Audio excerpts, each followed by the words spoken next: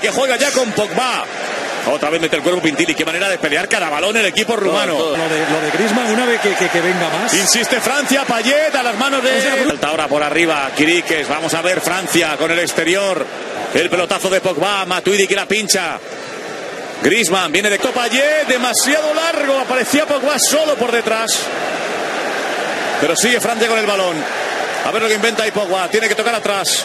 Otra vez. Con la calidad que tiene la gente arriba. Uno es Sandoni y aquí entre Payet, Griezmann, Sí. Giroud y compañía. Uy, se va Uy, Payet. Uy, Payet, qué bueno el recorte.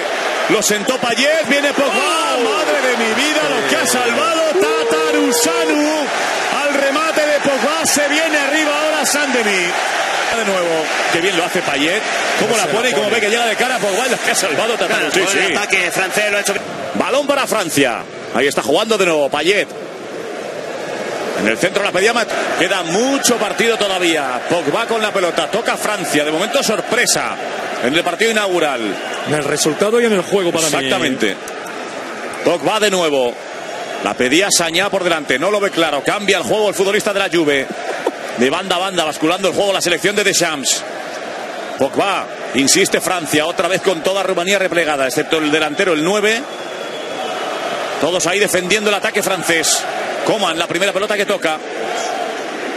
Amagando el centro, consigue marcharse como puede de ahí. Payet de nuevo para Pogba. Pogba que la pone suavita para Giroud. Giroud de espaldas a la portería. Se hace hueco. Beck que tiene el cuerpo de lejos.